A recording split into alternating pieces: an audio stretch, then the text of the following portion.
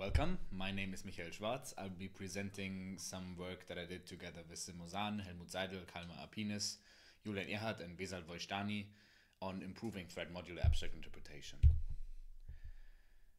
Most programs nowadays are multi-threaded, so one wants to analyze them. What makes this complicated is that multi-threaded programs uh, often use mutexes and dynamic thread creation. They might use complicated control flows such as waiting and signaling, and quite often they also have thread joins. The analysis of multi-threaded programs is challenging, and one reason is that the product construction, which one would intuitively want to do uh, for analyzing such programs, encounters a couple of issues in this setting. The first issue is well known, it's this issue of the combinatorial explosion. This is made even worse by the fact that for an interprocedural analysis, it does not suffice to simply uh, maintain one program point per thread, but one would in theory have to maintain an entire call stack per thread. And the final issue that this product construction suffers from is that it's very hard to handle dynamic thread creation in such a setting. So what one actually wants to do in such a setting is one wants to have a thread modular analysis and the dream there would be that one has an analysis and one simply analyzes each thread completely in, uh, in isolation of all the others. And this would then give us an analysis that scales linearly with the number of threads, or maybe with the number of different classes of threads that one has in the system. However, programs do actually interact via globals and such, uh, so it's not completely possible to actually analyze each thread completely in isolation, so one actually has to take some effects of other threads into account So let's describe the setting uh, for this concrete work. So as we said, we have multi-threaded programs, and what we're interested in for these for now is the values that one reads for globals. We will contrast two different uh, approaches to this that one finds in literature. The first one being the so-called Vojdani style approach. The idea there is that one accumulates all writes that are visible to other threads at an unknown G for a global G, and one does local updates when no other thread can interfere. Now the question, of course, is what is visible, and uh, here this works by computing a set of mutexes that is held at every access to a global, and this one calls the set of protecting mutexes. And now whenever all protecting mutexes are held, a write that a thread does locally is not visible yet, and it can happen completely locally, and only needs to be published once uh, the corresponding mutex is unlocked. So let's take a look at a small example here. We have our program again this time annotated with the lock sets for each program point. Um, the first step here would be to compute the set of protecting mutexes. So one would look at all of the places where this global G is accessed and then look at the lock sets at these places and simply take the intersection. So the protecting lock set here would simply be B. And that then what one looks at are the unlocks that happen after a thread uh, has written to a global. So for example, this one here. And here one needs to publish this local value that g might be seven, uh, might be zero to this unknown. And the same applies for the other unlock being the other thread. And here we'll publish this value that uh, g might be 17. What's important to notice here is that this value g equals to 42 does not need to be published here because it's completely local and has been overwritten before these protecting mutexes were giving up. And then when one actually wants to find out the value that we read for x, we would simply consult this unknown again and find that the value for x that one reads is either 0 or 17. Now what we have already seen while we were doing this example is that we found it convenient to accumulate flow and context insensitive information for this global G while we were doing an analysis that is context and flow sensitive.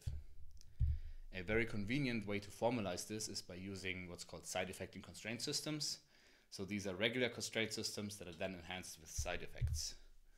What are side effects? They are contributions to other constraint system unknowns that are triggered during the evaluation of a right-hand side for a given unknown. So to go back to our example, we had the situation where in the local state we had this value of g is 17 and we did an unlock b. So what we would do here is one would compute the local state of the successor. So this in this case it would stay the same. And then the side effect was that we also side effected this value of 17 to this unknown g. So this would be the side effect here. And how can one write this down? A possible way to write this down is uh, given here. So one would first of all calculate the new local state sigma prime. And this would be the second component of this tuple, so this is the contribution to V. And then the first component of this tuple would be a set of side effects. Now that we have seen this uh, Vojdani style of analysis, the other style of analysis goes back to Antoine Miné and his collaborators. The idea there is that one propagates the values from an unlock to a lock, provided that some appropriate side conditions are met. Now the setting that we're looking at here, just to recall quickly, is we're looking at non-relational value analysis and no thread IDs. What does this look like in our example? Well, for the simple setting, the side condition boils down to checking that there's no overlap between the locks held after an unlock and the locks held at the corresponding lock. And then one will propagate information from unlocks to locks. So here one will propagate this information that G is 42 from the unlock A to the lock A in the other thread. And there one would merge this value of 42 into the local state, provided that the side condition is met, which it is here, because the intersection of B and the empty set is once again the empty set. So one can do this for all uh, unlock and lock pairs. And then one ends up with something that looks like this. And now if you want to determine uh, the value that we actually read for x, we need to see which values are merged into the local state via join. And this is once this value that g equals 42 that is merged at the lock A, and this value that g might be 17 that is merged in at the lock B. So what is quite interesting here is that the, in this case, this Miné style analysis is actually less precise than the Vojdani style of analysis. Um, this is not purely a coincidence, but we have uh, in fact sort of maliciously constructed this example uh, to highlight an, an, insight that we had, namely that this Miné style analysis and the Vojdani style of analysis are actually incomparable when it comes to precision. This insight was the jumping off point for the rest of our work. First of all, to do a fair comparison, we had to both formulate them in a common framework, and we found out that this framework of side effecting constraint systems that we have just introduced is very well suited for this task. Then we also want a systematic approach to construct soundness proofs for these types of analyses. And we do this with respect to a local trace semantics, which is a new concrete semantics that we give. And then we also provide improved versions of each of these analyses. And finally, we have also done a preliminary experimental evaluation. What does our concrete semantics look like? Well, we wanted it to be a trace semantics because the collecting semantics is not expressive enough to conveniently argue about a lot of these more involved analyses. And we also wanted to be a local trace semantics. We'll get into what that means in a second. But basically, the idea here that is that the concrete semantics should also be thread modular just like our analyses, and should in general match the analyses as closely as possible. Before we talk about local traces, let's maybe talk about global traces. And one might choose to represent a global trace maybe as uh, simply a sequence of uh, executed edges that are always labeled with which thread took them. So one could have, for example, have this example where the first thread first executes this create edge, then the second thread does the lock and sets the global to some value, and then the second thread does the unlock, and then it's the turn of the first thread again, who then locks A, and then maybe this uh, local y is set to 7. So this could be some sort of representation of a global trace. Then in contrast, what is a local trace? Well, for a local trace, one would take the standpoint of one thread, which we call the ego thread, and only those things that the ego thread has knowledge of are actually in this local trace. So in some sense, instead of having a bird's eye view of the system, where one sees the local states of all threads, one takes the perspective of only one of these uh, threads. So let's take a look at an example. Um, this is a local trace of the first thread that ends in this unlock A. And this thread is aware of its own history and is also aware of parts of the history of the other thread, namely that part which it has learned about by communicating via locking and unlocking of this mutex A. However, it, for example, does not know whether this other thread has executed uh, this step where it sets this local variable y to 7 or not. So quite surprisingly, one can also very nicely formulate this concrete semantics in a side effecting manner. And then one ends up with unknowns u for program point u, where one stores all local traces that end in this program point u, and unknowns a for mutex a, where one stores all local traces that end with an unlock of this corresponding mutex. Then what does the right hand side look like for locking and unlocking? It looks somewhat like this. So at unlock A, on top of the traces that um, reach the program point before this lock A is executed, one also takes the, the traces into account that were stored at this unknown A. and one then incorporates some of them and combines them.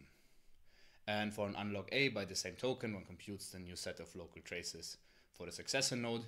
And since they now also end with an unlock A, they need to be side effected to this unknown A. Let's take a look at an example. So this is our example program. We have one trace at this program point U, and we have two traces at this stored at this unknown A. And then to obtain the traces at this program point V, so the immediate successor, what one does is one takes the local trace at the program point U and combines them with one of the local traces at this uh, at A. So for example, this one, you can combine those these two and then end up with a new local trace. This would be a resulting local trace. However, not all of them are compatible. So for example, the second uh, local trace that appears here, one could not combine them. Um, so it would also not appear uh, in the result here. What is also very interesting is that once one has formulated this concrete semantics, one also sees a very close connection with this Miné style of analysis when one formulates that in a side effecting manner. Namely, where we have unknowns uh, u for a program point in the concrete semantics, in a side effecting formulation of this Miné analysis, one would have unknowns u and s for program point u and lock set s, and where we have uh, unknowns a for mutexes a, in our concrete semantics for a Minet style analysis, one would have unknowns g, a, s. For a mutex a, a global g, and the lock set S that was held after the unlock of this A. Having cast all of these analyses in a common framework, we also have identified some possibilities for improvement for either style of the analysis. For example, in the Miné style analysis, one wants to get rid of eager reading that is incorporating the values already at a lock and instead delaying this until the global is actually accessed. And by this, one can often exclude some flows and become more precise. On the other hand, for this Vojdani style of analysis, the obvious limitation to lift is requiring one set of protecting mutexes for all accesses. To achieve this, um, we give some ingredients for more precise analyses.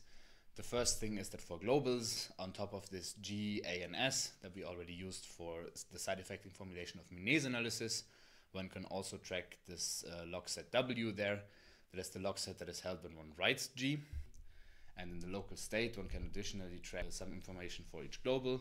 For example, one can track the set WG of lock sets held when last writing to G. One can also track this set PG of lock sets that was held since last writing to G. And additionally, one can also track some information for each mutex. So one can track the set LA of background lock sets held when last acquiring A, or the set VA of globals that must have been written locally since last acquiring A. And with these ingredients, um, we have then devised some more precise analysis. So the baseline here are the Miné analysis and the protection-based analysis, which is a Vojdani style analysis.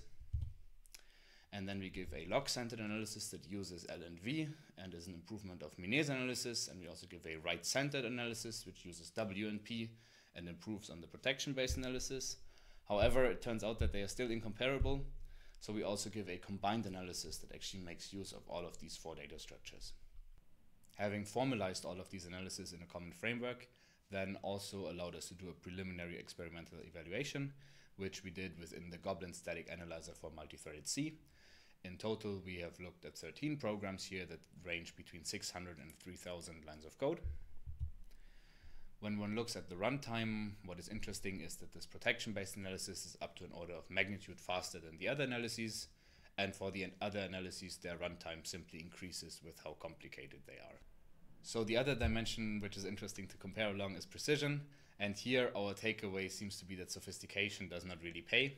So for our benchmarks, all analyses were, uh, had identical results for 11 out of 13 of these, and for the remaining two benchmarks, there was only marginal differences, where Miné's analysis was less precise at 6%, respectively 16% of the global reads, and all other analyses were equally precise. However, this conclusion mainly applies to the benchmarks that we have seen here, and it may very well be the case that for more complicated programs that use intricate schemes for communication and synchronization, that these more involved analyses actually pay off for these. Some future directions that we would like to take this work in is we would like to explore the potential of the local trace semantics, and in particular, we're currently looking at relational analysis and also at analysis that takes thread IDs into account. And with this, I'd really like to thank you for your attention and I look forward to your questions.